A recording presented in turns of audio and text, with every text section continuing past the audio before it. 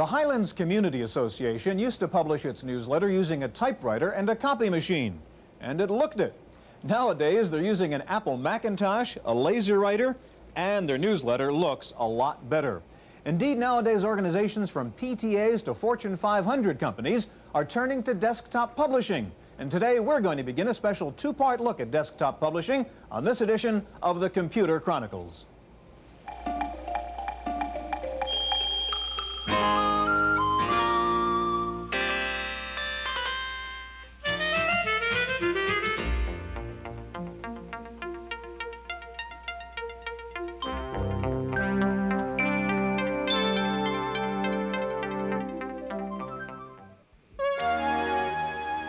The Computer Chronicles is made possible by Leading Edge, makers of IBM-compatible computer systems, including Lotus Lookalike Spreadsheet, word processing with spelling correction, communication software, and Hayes-compatible 1200 baud modem. Leading Edge with over 1,000 service centers nationwide.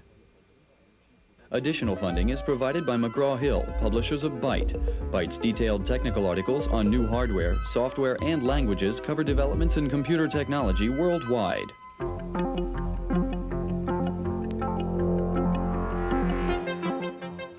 Welcome to the Computer Chronicles. I'm Stewart Cheifet, and this is Gary Kildall. Gary, this is not the most earth-shattering example of desktop publishing, but a pretty interesting one nevertheless, showing how you can take complex graphics, merge them with text, and if you have a laser printer, come up with some pretty spiffy-looking output like that.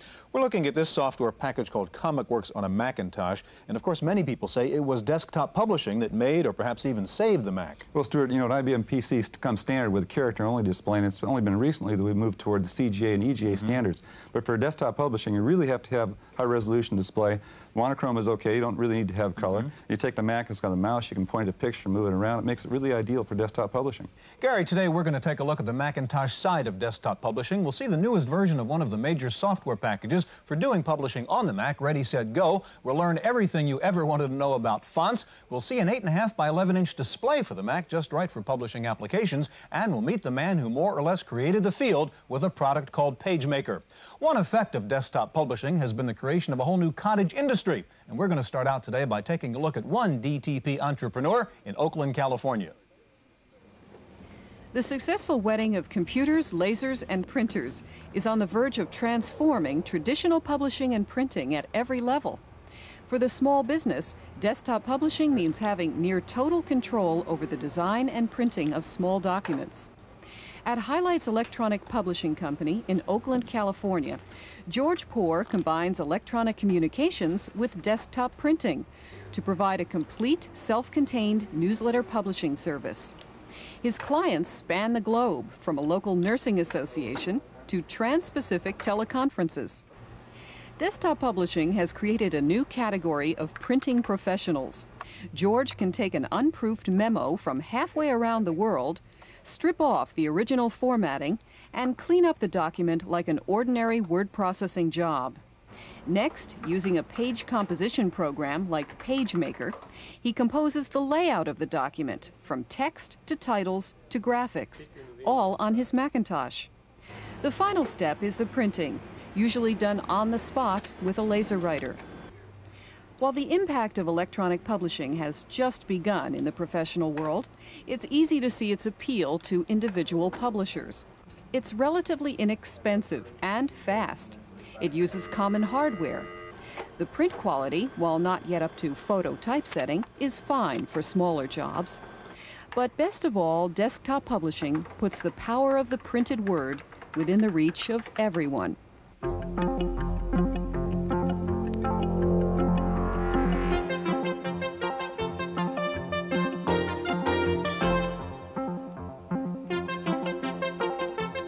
Joining us now is Michael Chung, the Vice President of Marketing for Manhattan Graphics. And next to Michael is Richard Ware, a graphic artist from Carmel, California, who specializes in designing fonts.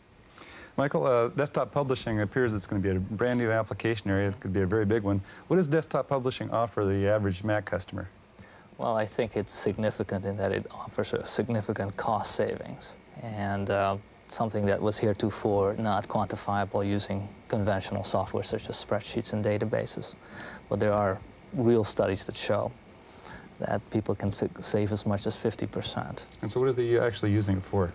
They're using it for a variety of documents. Uh, newsletters have been the most traditional application, but I think that's going to change rapidly as people see how uh, effective it can be in even standard day-to-day documentation such as memos and letters, etc. When you say cost saving, Michael, you mean compared to taking it out of house to do the same kinds of things? Correct, correct. Uh, there's obviously two parts of the story. Uh, traditional documents that may have been produced that way, that's where the most of the cost savings can be realized.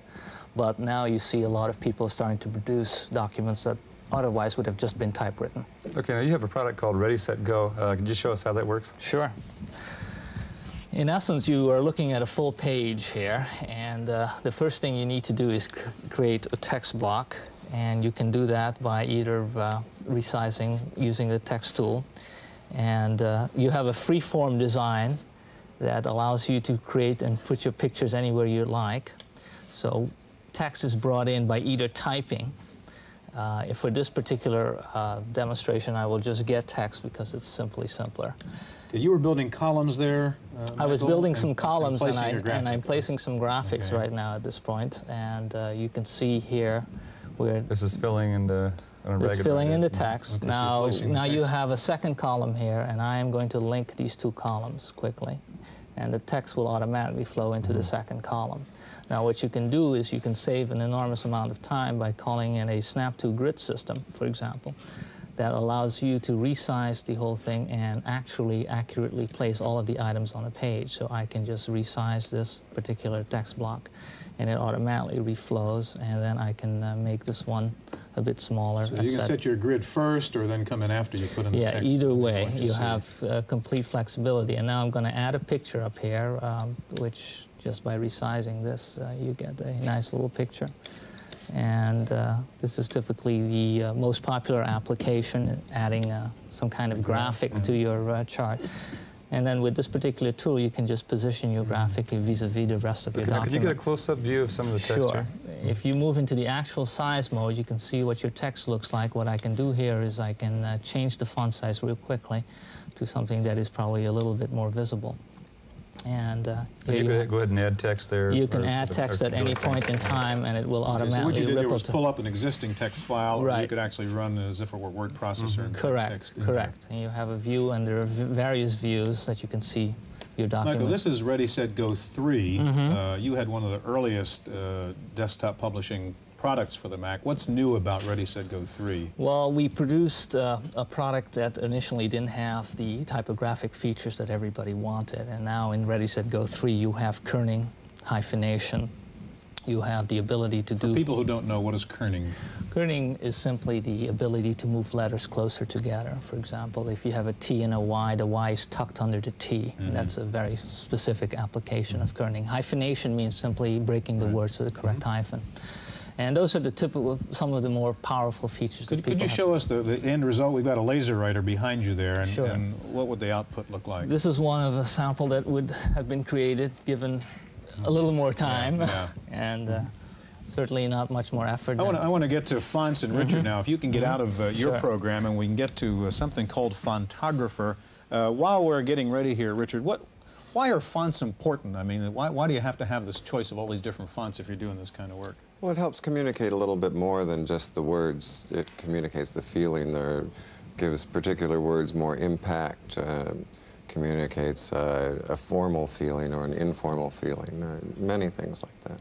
Now, you're a user, really, and a designer of fonts, and you're working with a program called Fontographer, and I want you to show us how, as an artist, you can create a new font using a piece of software like that. Okay, it'll be up in just a Okay. moment.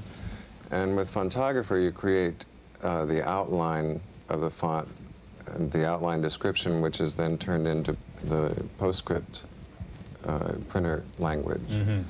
And then this outline of each character can be scaled to any size. So you're really making custom fonts here, not buying an existing font package. We're, I'm making uh, the fonts from the from the ground up, yes, and then we sell the Okay, packages. Show, show us what you're doing. So let's look at the character here. Well, first, this main grid shows all the possible character locations. You can put whatever actually you want in them.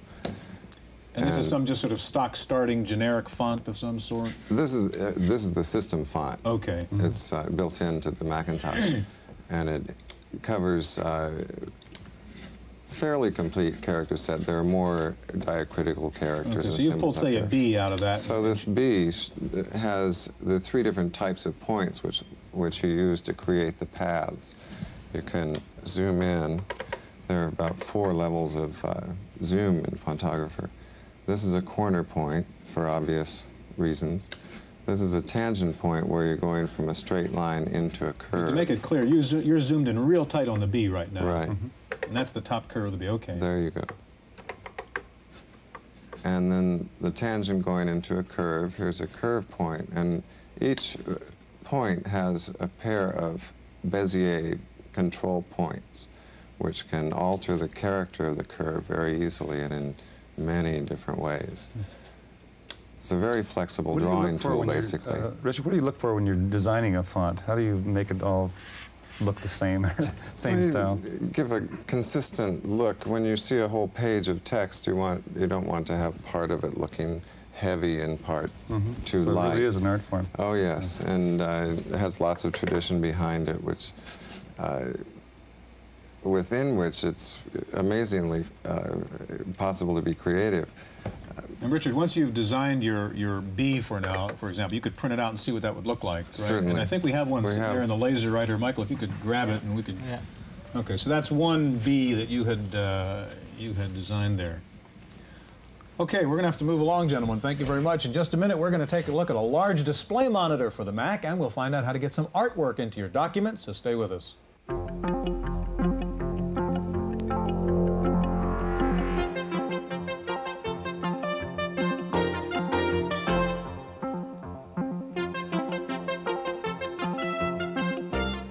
Joining us now in the studio is Michael Boich, the president of Radius Incorporated, and sitting next to Michael is Randy Kincaid, manager of desktop publishing for Dynamic Graphics Inc. Stewart, Michael has a great product for those of us who don't have 20/20 vision, so it makes that little Mac screen a whole lot bigger. But uh, basically, Michael, uh, what you've done here is a full-page display, I believe that connects up to the Mac. That's uh, right. Okay. Could you show us how this thing works? Certainly. Uh, in fact, to, Oh, by the way, let's let's mention there's a little flicker here. I think that the viewers might see. Could you explain that away? that's right. In our, we, we really dislike flicker at Radius, and in Uh-huh. fact, we went to great pains to uh, increase the, the refresh rate of the screen. That is, the number of times the entire screen is drawn from 60 to 67. Which However- makes it flicker to the viewer at home, but it's not flickering here. That- for that's right. Television, I guess, is geared Yeah. to displaying 60 Okay, and so- 67. Let's take a look at how this works. Okay, well, we're in a uh, word processor called WriteNow that I've chosen to demo our hardware with. And uh, to begin things, I've actually got a WriteNow document on the Macintosh display. Mm-hmm. So this is, in fact, what a typical Macintosh user will see. Which is a piece of a page. That's right. It's about uh, a little over a third of a page, in fact. And I can open another copy of this document onto the Radius display, and that'll give us a little idea of uh, how much more perspective you get. So we'll load that from disk. And there's the same Oh, yeah. document, only you can see all of it. Right. It's an 8.5 by 11 format. We're seeing right exactly an 8.5 by 11 page here. If I scroll even a pixel or two, I see the, the page break at the mm-hmm. bottom. Now, what is the resolution of the Radius display? Uh, the resolution in, in dots per inch is mm-hmm. identical to the Macintosh, which is why things appear the same. In total pixels, we're 640 across and 864 And how does that compare with the Mac? The Mac is 512 horizontally and 342 Okay, so you got quite a more detail here in this We're one. about mm-hmm. triple the total area. Okay. Now, ideally, you're really working with both screens when you use this application. Show us an example of how you really take advantage of both the screens. Sure, that was an important uh, engineering thought to us was people have already paid for the Mac screen. We didn't really want to put it to sleep and have only the large screen. So as I move the cursor across uh, the display, I see it go right from the Radius display onto the Mac display. In fact, I can uh, Did you do up. that move again? That's pretty Sure. impressive. Actually, we'll make the cursor large, which is another of our little hidden features. And as I move the cursor across now, I see this is just one contiguous area. In fact, I can take a window and uh, span it halfway across the two displays if I choose to. Let's put it back where it belongs, though. a more typical use is that I'll be editing my, my 8.5 by 11 document, and I'll want to get out one of the Macintosh desk accessories, say the uh, scrapbook. I can bring the scrapbook down and have it go right onto the Mac display. So again, if I have additional tools or palettes in an application, I can allow those to reside on the Mac display and see an 8.5 by 11 document unobstructed on the Radius display. so this is really definitely what you see is what you get. That's right. For real. That's right. Right. okay. Mike, if you could uh, reconfigure there, because we want to get Randy's uh, program up here in just a second. Randy, let me ask you, we've been talking about text here, and your bit is to help people get graphics of various sorts in there. Tell me a little bit about what desktop art does. Desktop art is art for everyone who's not an illustrator. It's the work of professional illustrators that we have stored on software. So no matter what your project is, we have an illustration that probably fits it. Uh, instead of buying a big paper volume of art that you have to take scissors and stab yourself with, uh, you've got a small disc. Okay, so you're that you a plug in. library of professional graphics on a disk. Okay, show us how you would use that. What we're looking at here is a standard Mac Paint window. Some of our illustrations are stored as Mac Paint, some as FullPaint, some as Mac Draw. I've closed the window. I'm going to choose Open, and there's a desktop art disk in one of the drives. And what you're seeing here are page numbers that correspond to a pictorial index. You choose the illustration you want, and we have previously decided on page 21, and there's a very pretty teacher sitting there. Now, Randy, uh, how would that be brought into a document of some sort? all of the page composition software for the Macintosh is able to import Mac Paint and Mac Draw if it's saved as a PICT file. So in PageMaker, Letter Page, Ready, Set, Go, and all the other page composition softwares, they have place or import. You choose that, choose the document that has the illustration, and with a, pressing a couple of buttons, it's right there with all your words. that file. Okay, Randy, in this particular case, this is a, a paint image, and uh, what if you want to do some scaling or make it, you know, uh, smaller in some dimension? Is that a difficulty with paint? It is because it's bitmapped and it rearranges it. Uh, many of the page composition page composition software does some scaling very nicely, though. Now, you have an example of uh, some draw images, is that true? Right. Okay, let's take a look at those. Yeah, so you can manipulate uh, one of your graphics and change it Yes. in desktop art? You can invert it, turn the black areas white, the white area is black. You can flop it. If the woman was facing right, you could change it so she faced left, according to what your project needs were. And what are you going to pull up now for us then? I've opened a blank MacDraw window now to show you some of the MacDraw art that we have.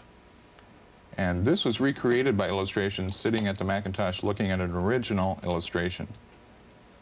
Okay, now once again, you're pulling up a graphic from your basic library, which you could have picked up by looking at the Right. at the brochure there. Okay, and there it This is. is a particular page. We're looking at a fit to window. I'll bring this up to normal size so that we can see it. Mm-hmm. And we can move around and simply look for the illustration that we want. Let's say your project was producing a bookmark for a school district and you wanted to work with this girl reading a book right here. We've chosen it. I can copy it. It's just like cutting it out of a page. Mm-hmm. Open a new page and paste it down, all without scissors and paste pot. If I wanted to change this to a boy, you have some flexibility in being creative. We encourage people to be creative. Don't just use these the way they appear. Play with them. See what you can do with your own own creativity and imagination. This, this is good software. You're going to turn her into a boy, huh? Okay, what I'm doing now is breaking this down into the in individual items that it was originally created with. And mm-hmm. turning her into a boy can be as easy as removing the pigtails. Okay, you did it. Mm-hmm. We're, we're out of time here. Thank you very much, Randy and Mike. In just a minute, we'll meet the man behind PageMaker, and we'll also, first of all, take a look at a major corporation that uses desktop publishing and PageMaker. Wendy Woods has that report. The biggest test of desktop publishing is taking place in corporate America, places like Chevron Corporation in San Ramon, California. Here, the Personal Computing Services Center is using a small network of Macintoshes running PageMaker, a laser writer, and a PCAT as a file server. With this setup, they put together Pacer, a newsletter about personal computing which goes to 3,500 Chevron employees. One year ago, Pacer was still being made with a mainframe editor without the benefit of versatile fonts and graphics of the laser writer. The process used to take six to eight weeks. When desktop publishing came about, we were able to finally merge text and graphics and explain some very complicated technical issues to our readers in a much clearer way. So we found that our readership increased. We also found that the turnaround time for the document was much faster. We could put out a draft copy, get the changes back, edit them, and get the newsletter out in the one month lead time that we had. This desktop publishing system has given the staff more control over their finished product and plenty of praise concerning its format and style. The Personal Computing Services Center has been desktop publishing for only about a year now, but already it's termed an overwhelming success. So much so that people from within Chevron and from other Fortune 500 companies have been calling here asking for help setting up their own system. For the Computer Chronicles, I'm Wendy Woods.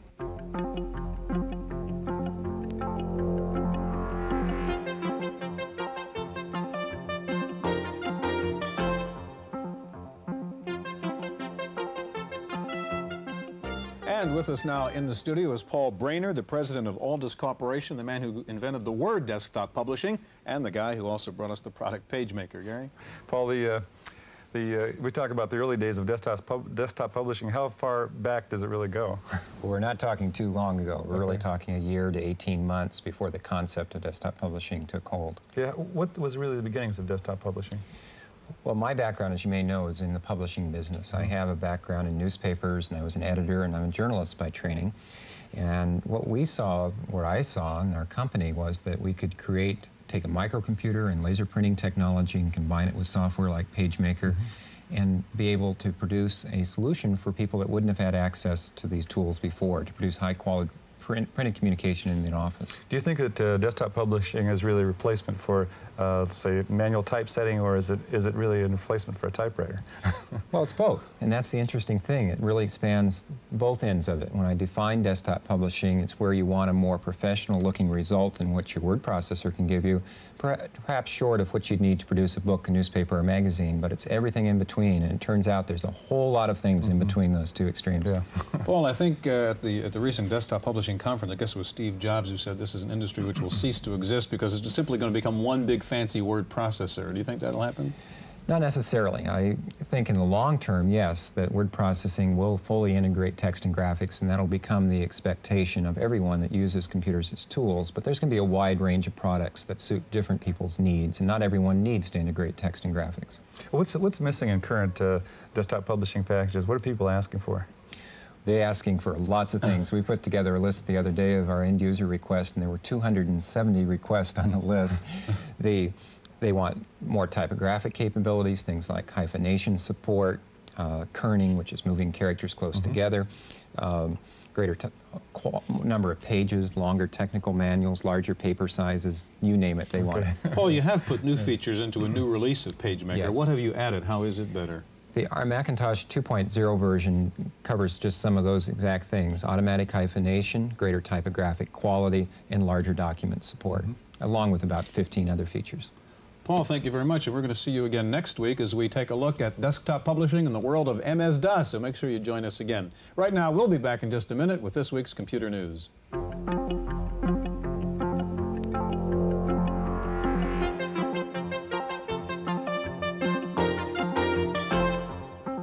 In the random access file this week, bulletin board users are starting to take action against cracked hackers who are planting Trojan horse software on bulletin boards.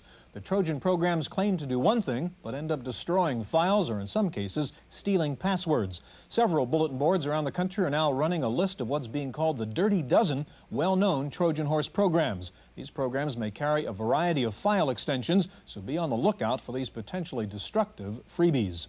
Lotus has announced a new super powerful word processor called Manuscript. It was written by Jonathan Sachs, author of 123. One reviewer says Manuscript sets new standards for speed and power in a word processor. IBM is taking another step in the desktop publishing arena, introducing its own brand of DTP software for the RT-PC. It's called RT Publishing Software, and it has the usual publishing features, plus the ability to size, rotate, and annotate CAD drawings. Hayes has announced a new version of the Smart Modem and SmartCom 2 for the IBM PC convertible. The Smart Modem 1200C is designed for low power consumption, and SmartCom 2 will be on a 3.5 inch disc. The online service The Source may be for sale. The Source's owner, the Reader's Digest, has hired an investment banker, reportedly to look into the market value of The Source. Owners say The Source turned a profit for the first time last year. Time for this week's software review, and here's our reviewer, Paul Schindler. Telephones ring when someone's trying to reach you. Electronic mail doesn't disturb your concentration, but you never know if there's a message waiting for you until you remember to call your electronic mail service. A new program called Get solves this problem by checking your email services automatically, and it does this even when you're working some other job.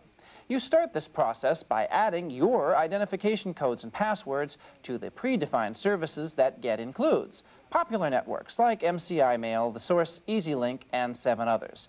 Then you tell GET to call these services at specific times or periodically, like every two hours.